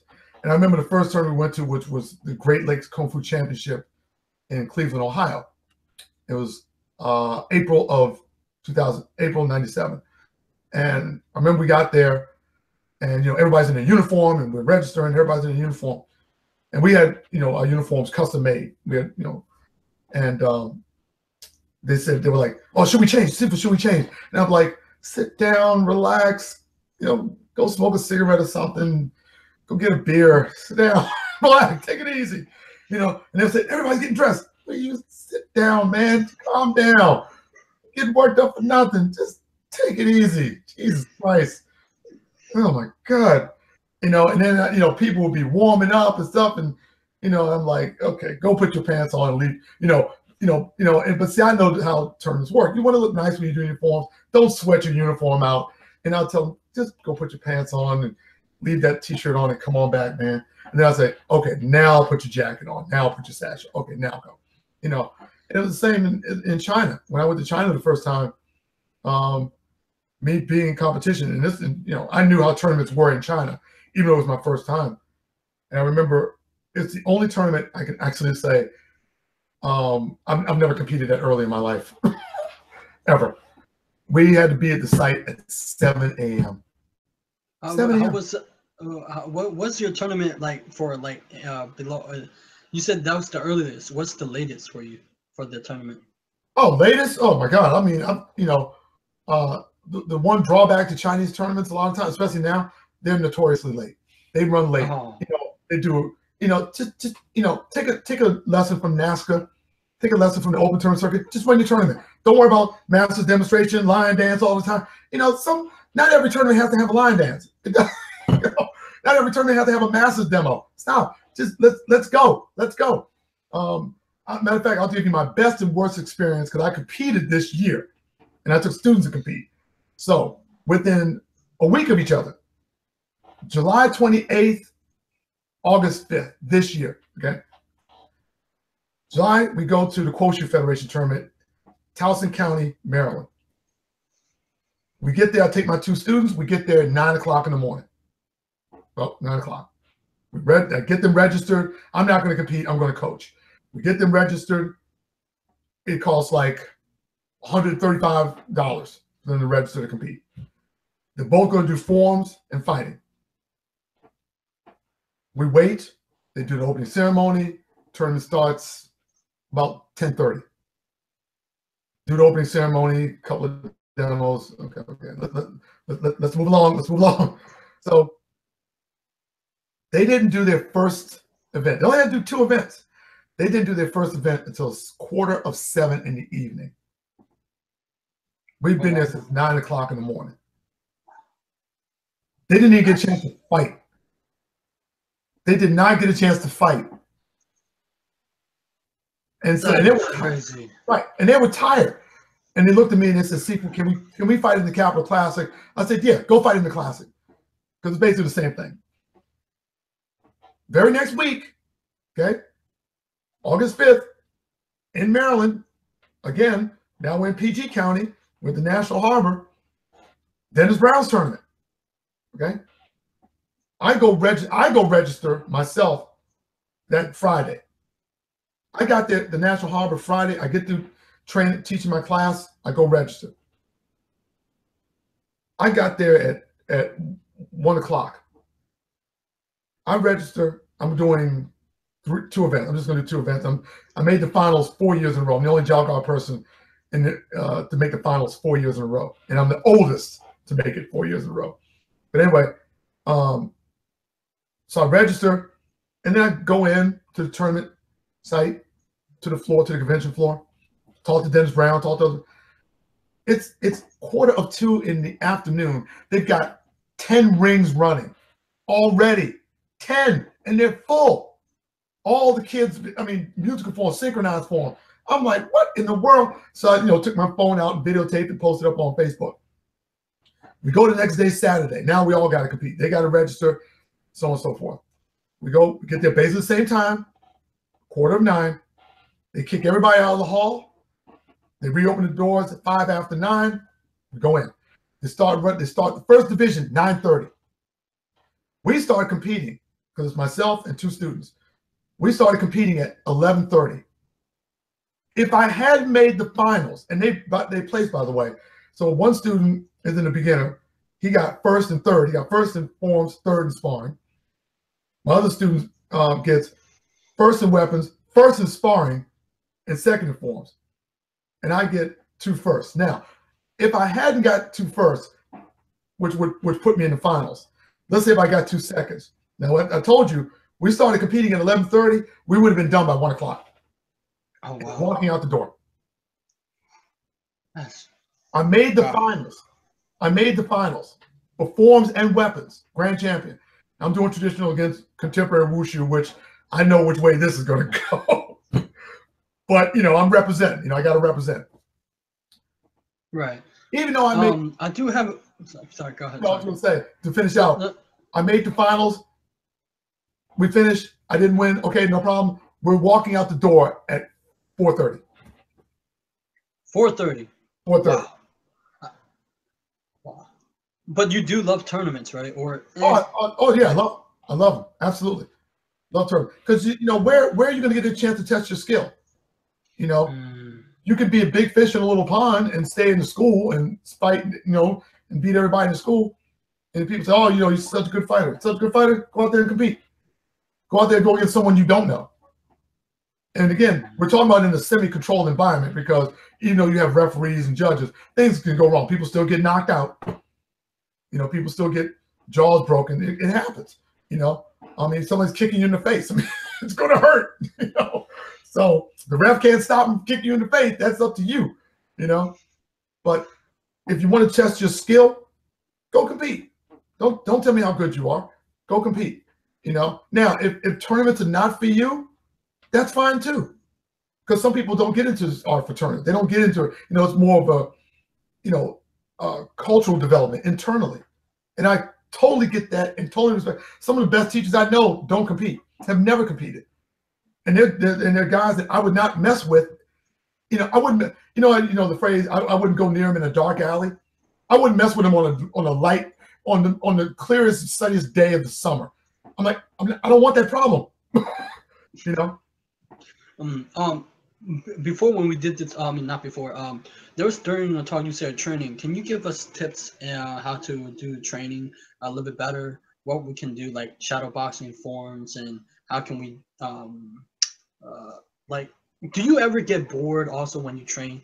Or No, no, because you can, you know, I know we use, I know we use the phrase master a lot, you know, but in reality, you know, you what have you mastered? You you can't master. You can't. You you there's there's no such thing as mastery. There's basics performed at a high level. A punch is a punch, a kick is a kick. The only difference is time and experience. And that's why we say experience is the greatest teacher. The more time you put in, the more experience you have, the better you're going to be. You know, and that's what it is. And I, I'll, I'll quote uh, the actor Chen Kuan Tai uh, from one of the old Shaw Brothers movies, uh, Challenge of the Masters, and he tells his uh, uh, Gordon Liu. He says, when you first start learning kung fu, he says after two years, you start to think, I'm pretty good. He said, but then after 20 years, you realize I'm not that good. So you just keep training to be good. Right, and also to what like I think that do we? Uh, I feel like some sometimes students get caught up with the sash because I kind of listen to Bruce Lee where you know uh, or Brandon Lee or whatever they say like it's only good for a hold of um, your pants. I know it's gonna offend a lot of people, but what do you think about that? Well, that's I mean, traditionally Chinese martial arts was like every other art. It didn't. There was no sash or belt ranking. The, the what we know um, as you know sash ranking or belt ranking, and I'll start with belt. Okay, excuse me, came from Jigoro Kano, the founder of judo, and he believed now. Now he was smart. He was smart because he realized that that people are inherently dumb and they need something tangible to see and touch in order to grade where they are. Uh, So that's why he came up with the belt, an actual belt rank system. So you go from white belt to you know yellow belt and so on and so forth to black. But though to get to those levels still took from white belt to black belt anywhere from 10 to 15 years at a minimum. You know, so people were willing to dedicate. Now it's a business. And so that's why you see, you know, in Taekwondo, you know, uh, you know, they make more money than anybody. you, know, you know, they do. And, and they got the kid, they got the kid niche locked up. I mean, they've got, they figured it out. But, um, you know, it used to be you get a white belt and then you get a yellow belt. Now you see, you know, I've heard people say, yeah, my son's a, a, a third degree, a third degree white belt. I'm like, I'm, what? What you, a third degree? What, what? What's that? Well, he's got, you know, he's third. This, and I tell him, there's no such thing. No, in this school, what? Or, or third degree yellow belt. I've heard it all.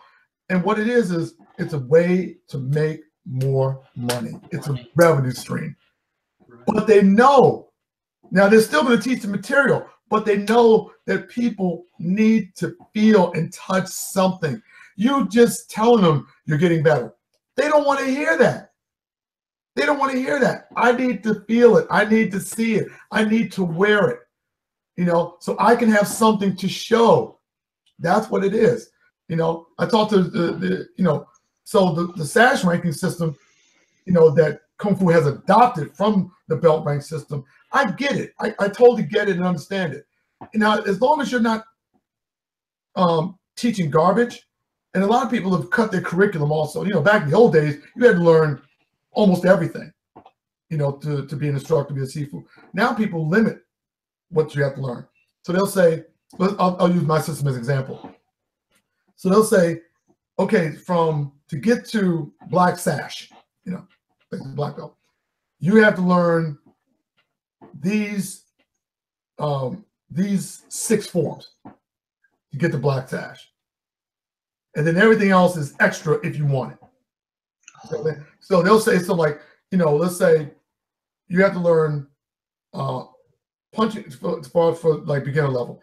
You have to learn uh, the punching form, the stepping form, small tiger. Okay, that's beginner level. Okay, intermediate, you have to learn uh, double-headed staff, uh, flower fist, and spear. Okay, that's intermediate. Advanced, uh, you have to learn big tiger and broadsword. Okay, now you got to test all those to get your black sash. You test. How do you guys? Sorry, go ahead. I was gonna ask you how do you guys do the testing? Because uh, I remember Hong Fa they um, when we uh, they called it first form they tested for uh, um, timing. You guys do that, and the second one uh, I remember when I was testing for uh, to get on the staff. It was for uh, just they put me on a horse stance really low, and they put me on the uh, broadsword. You guys do any type of that like that? Yeah, we don't test for time. Um, but again, that's you know, um, but that's a more modern thing because everybody's, you know, uh, speed is going to be different. You know, especially when you're just starting out. You know, depending on the length of your limbs, how tall you are, how short you are, everybody's speed is going to be different. You know, um, that's not to say that someone heavy can't move fast or that someone little is going to move, you know, slow. And someone little is going to move fast. I've seen people who are small that can't move that fast. I've seen big people who move quick. You know, um, so that's that to me is not a great marker. I, I get it though. I mean, that, that's that's the way it's set up. You know. Right. Yeah. That's how. Yeah. Right. Go ahead. So I'm not going to criticize it. That's you know how you set your school up is how you set your school up. Um, right. How's the way that uh, you guys test? The way we used to test in the old days when I was coming up, you had to test for every single form and then level. So so many forms per level. But you to get to advance, to get down to the instructor level, you were going to be in the school at least a good seven years, oh, seven, eight years, easy. You know, and then to get to Sifu level, you had to do everything, every single form, every single weapon, every two-man set, and spar, and and, and do line dance. You had to do it all you know, and Sifu, you know, would fail you. They had no see. You can't you can't do that these days it, and run a commercial school. People paying 150 bucks a month. They're buying the uniform. They're buying the equipment, the sparring gear, the bag, the patch, the T-shirt, the weapons. You know, yeah, weapons. People showing out, you know, you know, a couple of grand a, a year for little for little Timmy to learn. Well, guess what? if you're running a commercial school and that's how you make your living, you're not failing Timmy. You're to make sure Timmy passes. You're to do everything in your power to make sure Timmy passes. Because you know what happens if Timmy doesn't pass? Timmy's parents pull Timmy out of your school. And that and that revenue stops. You know, um, you know, so you know, but Sifu back in the day, there was a guy. I remember uh, my my sihing told me, uh, Briham, he told me the guy was testing for small tiger. He did the form perfect. Did it perfect. No problem. Sifu said, okay, show me, give me five applications, meaning five techniques. Show him the techniques, how, how the form's applied. And the guy couldn't do it. And Sifu said, wait a second, hold it. You know, you did the form right. Now just show me an application. You know, because they, they, what they would do is they give you a partner. So, like when I tested, I tested for small tiger. You do the form. First, they check, check your, your stance. You're sitting stance for at least three minutes. Could be longer, but at least three. You know, so you sit your horse, basic forms, basic punches, basic kicks, stuff like that. Then do the form. Then application. So they give you a partner say, okay, you know, they'll they say, okay, tell them what you wanted to do. And apply the technique and tell us how, to, how you're going to do it, how it's applied. So you say, okay, um, I'll, I'll just say, you know, like we, one of my training brothers named Chris. I'll just use him as an example. I would say, Chris, um, give me now. You gotta remember, you got it's up to you to make you look good. So you got to know what you're doing. So you say, I would say like Chris, give me a, a left foot left foot forward fighting stance. He gets a fighting stance, left foot forward. So I'll say, give me a left punch, and he punch. So I block, and then I might grab and then pull and punch. You know, something like that. And then I have to explain it. You know, and he says he's giving me a left punch. I'm going to use the hook. In, that, in, that, in those days, we say, you know, the hooking block, because I didn't have the name, the name of the technique. Hooking block. Then I'm going to grab his hand and pull and punch, which is I'm taking it from this point, but I'm using this this part here, and then the pull at the end of it and the punch, and they'd be like, okay, and then they grade you. You know, and then they might say, give me another tech, give me another application using the same technique from the other from another punch, like a hook punch. I said, okay. So, you know, they'll, they'll tell you, you know, but there's one guy, he just couldn't get the techniques. So Sifu failed him. He said, you know the form, but you can't apply it. I, I can't pass you. I'm sorry. You got to pr- take take your test again. The guy left the school. Oh, okay. you know, Oh wow. it doesn't happen these days. You you you know, people can't fail. My fiance is, is very quick to tell you, you know, I don't give compliments easy. You know, now I'm not I don't I don't crap on people, but you know, when people and I do a lot of personal training and boxing and kickboxing, um, you know, and I only have a few, I have four students that I teach Jow Ga to, only four right now. Um, and I tell them, I'm like, I'm not running a commercial school. I'm not going to move you on until I'm satisfied that you're doing this right. So if you can handle that, you can come learn with me. If not, I'm like, there's a lovely karate school around the corner, go there. I'm like, I'm not going to do it because you're representing the system. And I need the system to be done properly because it's not only my reputation, it's all my instructors and my Sifu and, you know, everybody else that has come before us to represent Jow Ga. I want the system to work. I want them to say, you know, I learned Jow Ga from with, oh, okay, okay. You know, I know, I know your, should be tight. So I'm like, you- you're gonna get out, you know, and again, I don't make them compete. I'm like, they say, oh, see if I was thinking about competing. Are you sure about that? you know, I'm like, because if you think I'm a pain now, I'm gonna be more of a pain when you get ready for tournament. You know, and at that, they're all at the stage where I just go, the only phrase comes out of my mouth is, they look good. And I say, oh yeah, now you're getting it. I was like, oh, okay, now now you look now you look like a Jow Ga man. And I was like, and I told him, you know, and I, you know, I poked fun with him. I said, I don't know what that stuff you were doing before was, oh, white crane, whatever that stuff is, you know, you know. But and they always hear, and then they hear this, do it again, do it again, do it again, do it, start over, do it again, start over, do it again, more power, more speed, do it again, do it again. I mean, they're bending over, huffing and puffing. I'm like, stand up and breathe, stand up and breathe. You want to learn kung fu now? Now, now the, the real training begins. Do it again. Sit, sit in our horse stance. Don't move. You know, lock that leg. You know, I'm old school. I'll stand on their legs, bounce, bounce up and down on their legs. You know, I'm like, you know, do iron body training. You know, hold hold that stance. Punch them in the body, body conditioning. I'm like, what do you think gonna happen? You get in a fight. You think somebody gonna hit you? You gotta be ready.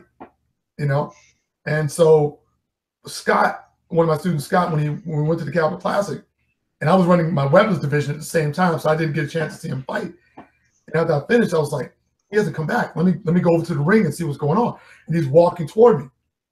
And I said, this, this, this is his first, this is his second tournament, but his first time fighting. And he was doing intermediate because I was like, there's no way you're going beginner. You're way, way too good for a beginner. Do intermediate. So he was going against, you know, um, blue belts and, you know, green and blue belts and stuff. And sees it, you know, guys who on, you know, point karate teams and such. And he comes walking toward me. And I said, so what happened? He said, I won. I said, you won what? He said, I won the division. You did? I mean, five foot trophy. He, he walks away. His second tournament, he walks away with two five foot trophies. Do you know how long it took me to get a five footer? How long did it take you to take? I didn't get I didn't get my five footer until um um 2000 2014. I didn't get to Oh, wow. 2014, and Dennis Brown tournament. You know, Oh wow. yeah. I mean, Uh, you know, but it, you know, I, I do. I I enjoy myself. I, I really do mm, because I'm not Yeah. trying to. You know, it. I, I have met along the way. I've met some some teachers um, that were, you know, jerks. I met some teachers that were jerks. People. One teacher, um, he's passed away. I don't want to mention his name because I, I still admire the guy because his, his kung fu was really good. Um, and uh, he came here, and I wanted to, I, I, I wanted to address him and stuff, and he kind of like, eh, and turned like walked away from me. I was like, oh, he's a jerk, you know. And I bowed. I said, you know, and I've met a couple others like that, you know. And I said, uh, I said to myself, if you ever get to that level, treat everybody with respect, even especially beginners, because beginners are very impressionable. You know, they're coming into the art, they're trying to learn, you know, and if you if you talk to them like now they, they and they know their place, they know they're beginners, and they know who you are. That's why they come up and giving you compliments or whatever. Um, but if you talk to them like, yeah, yeah, whatever, yeah, yeah, appreciate it. You know, that, that you know, one, you just left a bad, give them a bad impression. You know, whatever positive view they had of you is completely gone now. You know, so why do that? If some beginner comes up and says to me, you know, oh, Sifu Wiz, I really like, it." hey man, thank you. know, I mean, it's you know, that's nice. They're taking the time out to to say thank you for whatever you've done to contribute, and they admire what you do, and they want to follow in some some way, shape, or form your footsteps. You know, maybe not exactly, but you know, promoting their art, they may want to be a good tournament competitor, or be a writer, or do articles, or, or do be a researcher. You know, you know, whatever. You know, or however long they decide to stay with the art, but to give them a negative impression because you think you're up here and they're down there. I mean, that that's just wrong. And so I never wanted to do that. So I'm I'm exceedingly comfortable with myself, um, especially as I get older. I mean, I, I like the rank of Sifu. I I I, um, appreciate it. Um, but I don't think I'm up here. You know, I'm still learning, I'm still practicing, I'm still training, I'm still working, you know, and you know, while I have a few students, you know, when I didn't have any students, I was I was still I was still doing. I was still out there hustling. So it didn't matter to me. But it, I tell people, but if you come to me, you know, this is what it is. This is how you're getting trained. Now, if you can deal with that, you're good to go. I got you covered. But if you can't, you know, I hear you. I'm, I'm not, you know, I'm not for everybody. You know, I'm not everybody's cup of tea. You know, um, you know, I, I try not to be a pain in the ass, but you know, but if if I'm training you and you're not practicing properly, you know, I'm going to be upset. And you know, I, when I was doing personal training just in fitness, um, I would matter of fact, I did it. I did it twice. I've done it twice. Once as a trainer, once as an instructor. But I had student, you know, people that I was training that they felt like I wasn't giving what they wanted, or they were, you know, having it, and I gave them their money back and said bye. Really? Yeah. You know, I'm like, you know, you, you're asking me to train you. You haven't bought me. you know, you know, I'm not a, commodity to, to be bought. You're asking me, you're asking for lessons, you know, and so, um, but if you get an attitude with me, you know, I, I got to drop you as a client or a student. I'm, I'm not going to have it. I, you know, I'm too old for that, man. You know, I, I really am. It's not a, you know, if I'm treating you with respect, you know, you should give me respect. But if you think that that you paying me gives you the right to uh, uh, belittle me in some fashion or expect something from me because you're paying me a certain amount of money, I'm like, that ain't happening. So sorry, but you know, it is what it is. You know, And but I've, yeah, I've done it. I've done it twice. Matter of fact, I take that back. I've done it three times, three times, and I'm like, not worth it. Not worth the headache. You and know, have a nice day. Good luck in life. See you later. and thank you so much for being so humble. You know, a lot of people like when they get up there, they're not really that humble. Um, because I get um uh, but oh yeah, I forgot to say thank you so much for doing this interview. I'm very grateful to you. You know why? Well, thank you. Thank you for asking. Thank you for asking. Thank you. And I have this. It's like you said. Like you, I, I hear what you're saying that you like respect. You know, and I had this. Um, I, I don't want to mention name, but I had this author that I read the book and I wanted to promote just like your book. I want to promote, and I believe the message but the and I asked for like an interview, and you know the person said it's busy. I understand that, but if I really believe in what you do, I'm gonna persist, right? So I asked what what what happened is the person blocked me, and I said, "Whoa, that's not okay. You're you're a public figure. You're a CEO. You're best-selling author. Why would you do that? You know?" And I'm thank you, uh, grateful for you for like like that. You know. No, I mean, thank you for thank you for asking. You know, like I said, like I said, sometimes you know when when I saw when I saw your uh, your message, and I was like, I was like, wow, someone actually wants to interview me. I mean, it's just funny to me because you know, and on my book, I was like, holy crap, someone picked it up.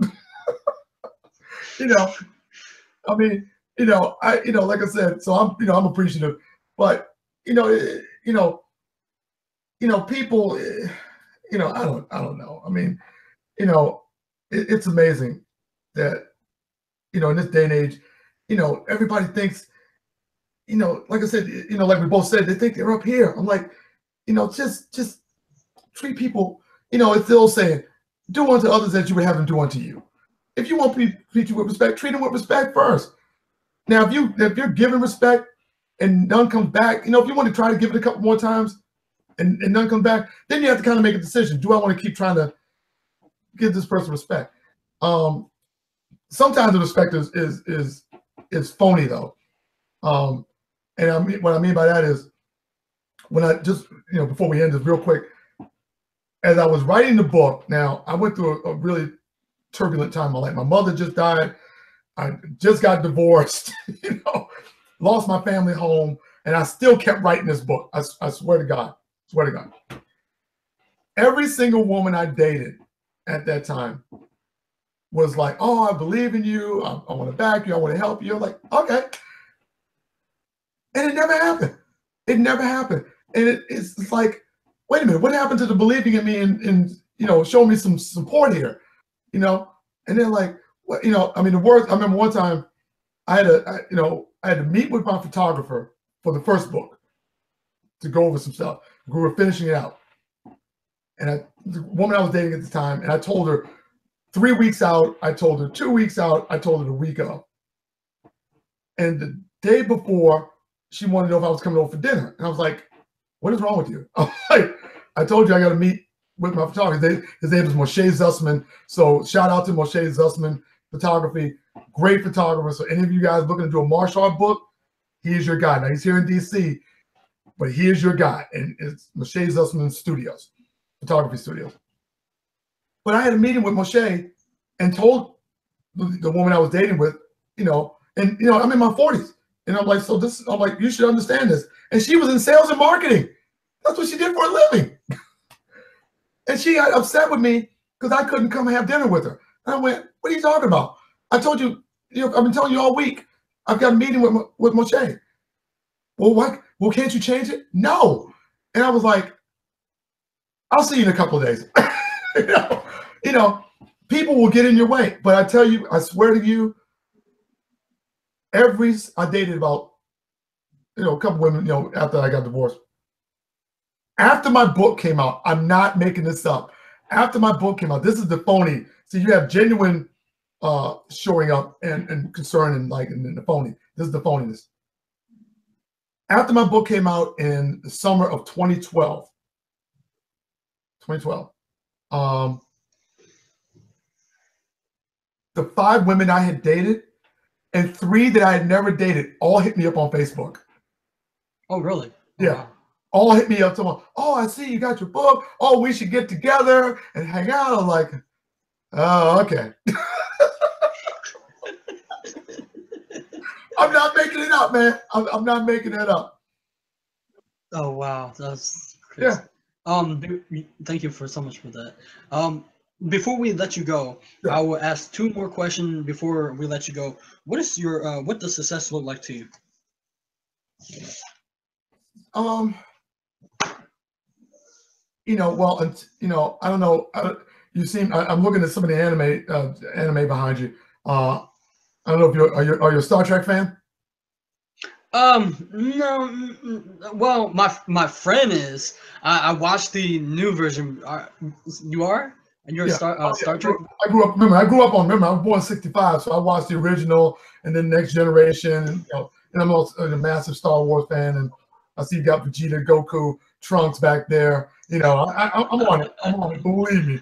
You know, um, is that Bulma? You got Bulma back there?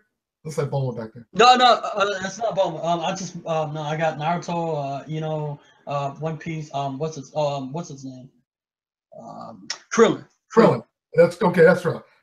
I'll so. But anyway, um, you know, but until you know Star Trek universe, you know, money is no longer an, an issue. You know, everybody is working for the betterment of humanity.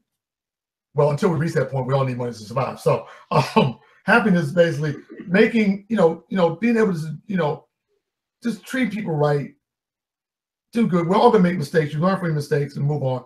Your your pros outweigh your cons because again, we're all gonna make mistakes um, little mistakes, you know, big mistakes and everything in between. But just treat people right, man, and, and you know, make enough money to take care of your family, maybe pass down something to your kids and stuff like that. And you can, you know, when you're on your deathbed, you can look back in life and say, man, you know, I, I, I think I did okay. I think I did okay. Because we're all gonna hit the dirt. You know, that that's Right, just right. that's just a definite. Um, mhm. but that's what it is. You know, you don't have to treat, you don't have to step on people in order to get ahead. You, you really don't. You know, and I've, I've seen it. I've seen it in, in, in my system. You know, people trying to step on somebody just to get to one up somebody. I'm like, what for? You know, it's happened to me, but I'm like, okay. You know, you want to you want to say this about me online? uh, That that's on you.